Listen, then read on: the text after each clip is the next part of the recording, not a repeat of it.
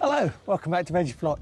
Uh, today is Mega Harvest Day. We've got so much to harvest up here and get back uh, up into storage as soon as possible.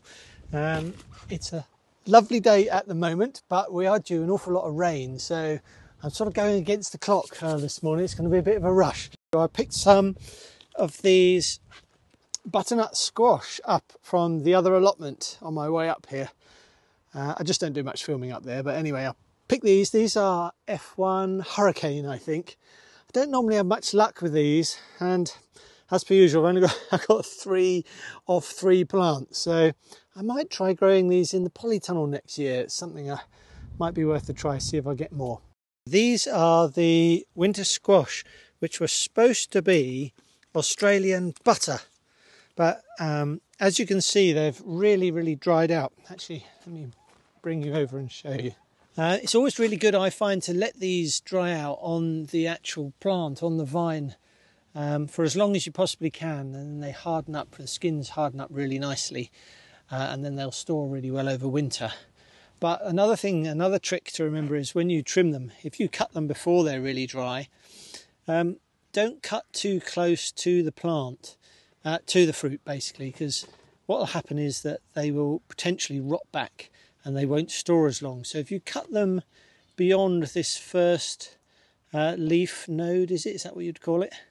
Um, if you cut them beyond that, then basically the moisture dries back and it all seals up in here and prevents it from rotting into the actual uh, squash. As I said, these were supposed to be Australian butter, but as you may know, uh, squash tend to cross pollinate quite well as all the bees flying from flower to flower and it turned out that either my labelling of the seeds wasn't very good or they just cross pollinated very well. because this is, I think, a cross between a Victor, which I think is this striping, uh, and in here a Turk's turban. So, yeah, it's a beautiful looking squash, isn't it? I'm sure it'll taste nice, but it's not what I wanted. anyway, so we'll put that in there Oh golly, that's heavy enough I think for this one. But yeah, good selection. So I have to get the other basket now and we'll do the other winter squash over the other side. So yeah, this one the stem's quite green. So if you can see just here. So this is prime example. You don't want to cut. I'm not in the picture, am I? Let me just crouch down a minute you don't want to cut into this bit here. So basically the stem here is still green. So if you cut a little bit back and this one, take these bits off. And then you see this will now die back and seal up at this joint, which means it won't rot back into the middle. Off you go, Mr. Spider. won't rot back into the middle of the uh, actual squash. Anyway, I'm hoping these bits where they've been nicked by pheasants or something, that they don't rot off in there. So I have to be careful and keep an eye on those. Right, let's put that on there.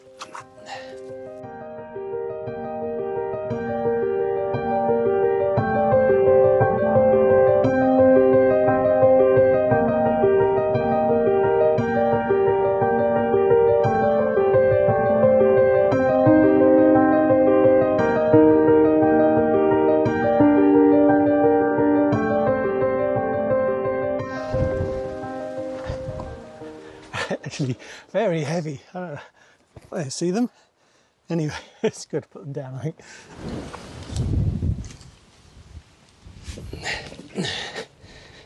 Yeah, really pleased with those. Good selection, I think, last well over winter. Anyway, I now want to um, go and harvest a lot of the remaining sweet corn.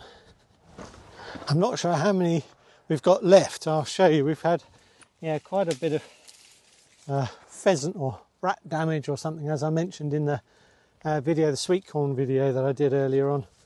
But yeah, we've still got a few, most with socks on, and some without. But let's just take this off, bring it over and show you. I haven't opened this one, I have no idea what it's like. Uh, I might have left them a bit late in the season, I'm thinking. Ah, uh, yeah. Yeah, you can see I've left some of these far too long now. So we might not get a good crop from these, and these just have to go on the compost. Shame. Never mind. Right, let's see what else we've got. Right, a bit disappointing so far.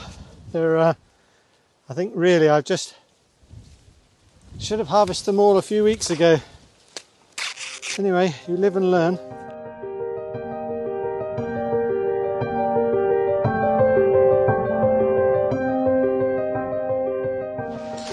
Well, that's a bit disappointing. I'm a bit fed up with myself really for, for that. I think I'll open some of these. Um, you live and you learn all the time, don't you? Gardening and growing stuff, but when you waste food, it's really frustrating. Anyway, oh, actually, this one's all right. I just, uh, a lot of them have gone over, which is really frustrating. I should have picked them all at the same time. Anyway, this one's quite nice. That's quite a good one. So yeah, some of them are good. Uh, some are tiny, but good. So we've got a few. I'll have to cut the ends off, but they'll be okay. I mean, I'll probably cut the corn off and then do something with it and freeze it, I think. Uh, yeah, not easy to do this one-handed. but yeah, that one's okay. So yeah, I've got a basket for some of them, so that's good. I'm not terribly disappointed, but let me show you the ones that didn't quite work out. So they're the good ones, and this is the pile of of not so good. You know, some of these just haven't, you know, uh, pollinated very well. Uh, some are okay, but it looks okay, but then around this side it's all dried out and so on. I could possibly take the top off that and keep the bottom. Uh, but some of them, yeah, they're just going over, they're going all wrinkly and so on, and they're probably pretty poor taste now. Look at that one, it's dreadful. Anyway, so that's that. That's the corn, sweet corn harvest done. Uh, been a really good year. Uh, do go back and look at the sweet corn video, I think it's a couple ago, uh, and see what you think of that one. There's lots of hints and tips on that. But I shall add to that tip, that is when they're ripe, have them all, get them all, all harvested. Right, I think that's them done now. Let's go and get some French beans. These are the safari French beans. These are the second sowing, if you remember. I uh, just pick one. I don't normally sow them this late. You can see, yeah, perfect at the moment. Uh, yeah, I don't really sow them this late. Don't normally do a second sowing, but I thought this year I'd just try it, and it's really paid off. So I did them in the summer earlier and we got a great crop. And then I managed to, do you remember in that video, the black and white pictured one, if you look back, uh, I managed to kill off most of them by using the comfrey feed, but putting too much in the watering can and basically poisoned the lot. But I haven't done that with these. And as a result, we have some really good crops. So just show you. I've let those two get a bit big actually, but yeah, there's absolutely loads of them. So I'm going to get on and harvest some of these.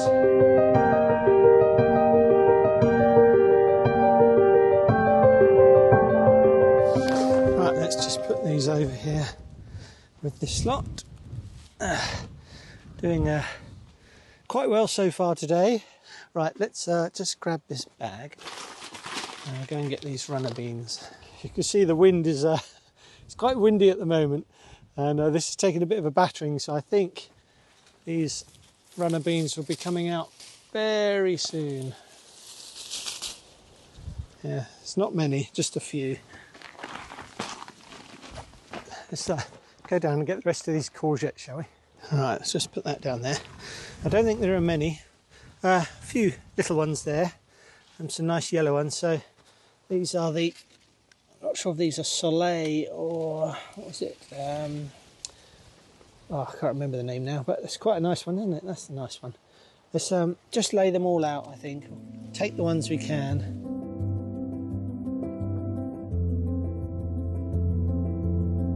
Uh, right, there's a few.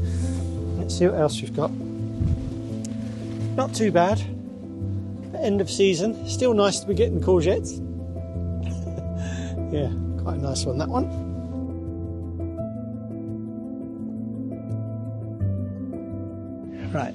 Just uh, put all these in the bag. Take the flowers off. Yeah, some lovely ones here. Yeah, lovely. Yeah, very pleased with those. It's uh, nice to get some end of season courgettes. Right, let's um, yeah go and get the kale, shall we? The netting seems to be holding up really well, so we haven't had any any butterflies or cabbage sort of uh, related caterpillars in here, which has been wonderful.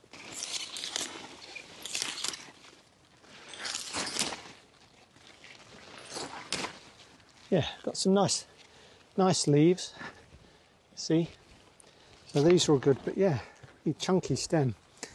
Anyway, right, don't need this one in there. So it'll give us plenty of light for the others to keep growing away happily. Right, let's put this lot in the basket. Right, nice bag of kale and bits and bobs. So I'm just going to drop this netting down just in case we do get any butterflies, but I think it's too late in the season for that, and I'll come back and sort that out a bit later. Right, last but not least, I'm going to go and get some Swiss chard. The chard leaves getting quite mature now, so I want to have some of these out because they're beginning to go over a little and get that sort of yellow speckledy look to them. So I want to get these nice fresh ones while they're still looking lovely.